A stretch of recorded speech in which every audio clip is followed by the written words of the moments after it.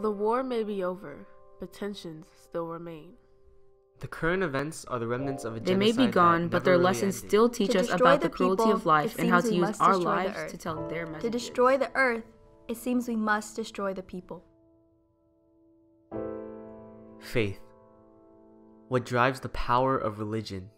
The drive that gives people a sense of purpose. Many people sacrifice for their religion. However, some also kill. 1996, the First Congo War.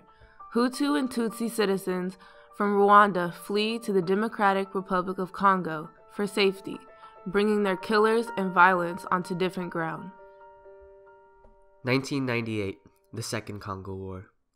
The infamous Joseph Kony and his Lord's Resistance Army rise to power in the Congo, seeking financial opportunities not seen in his home country, Uganda.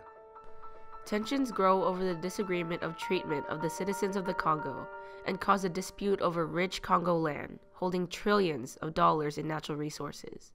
This started genocide, the Democratic Republic of Congo genocide. Since 1998, violent conflict and poverty in the DRC have killed over 5.4 million men, women, and children. During this time, the Lord's Resistance Army has been occupying, controlling, and manipulating the citizens of DRC for their own financial benefits, extracting resources including gold, diamonds, and oil. Joseph Kony's army would pose as military soldiers and attack civilians during community events such as church. The LRA would decapitate the old, sick, and weak with machetes.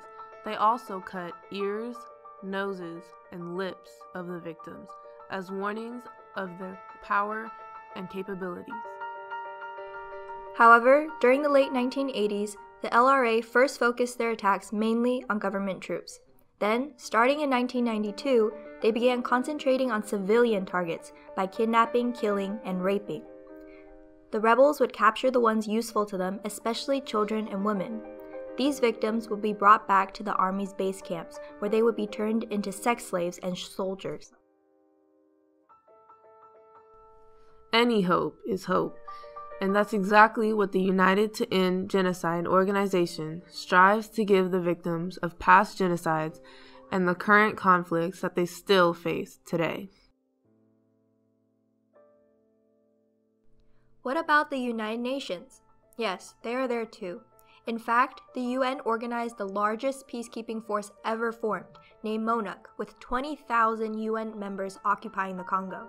However, even with the presence of the UN in the DRC for over 13 years, the situation has shown no signs of improvement for the civilians or their government. Within these 13 years, however, the genocide has ended. In 2003, a peace treaty was signed, but this stopped the genocide, not the violence. The LRA continues to spread violence by destroying the people of Congo and their land each day for their own personal benefits.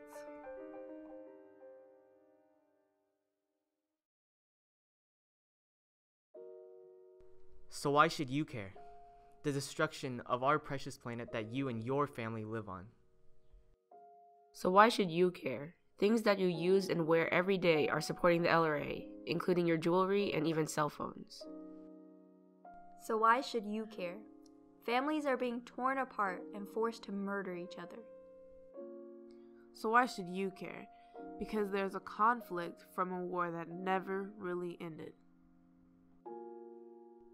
So why should you care?